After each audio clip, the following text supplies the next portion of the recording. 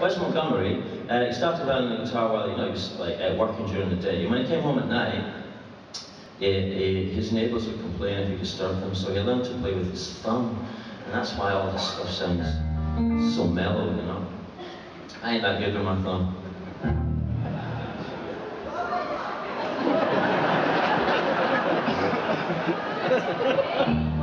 Front row here's a disgrace.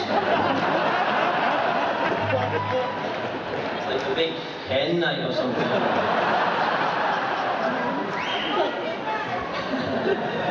I'm nearly 50, you know. Just behave yourself. So are you. Yeah.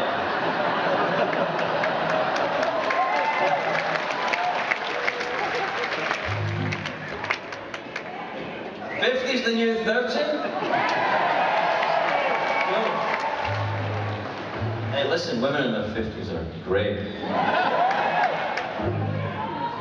I was going to say something there, but I'm really scared.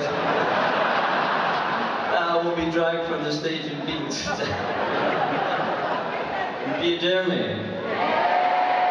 You really dare me? I just want to say women in their 50s are great. I know. My last girlfriend's mum was 55.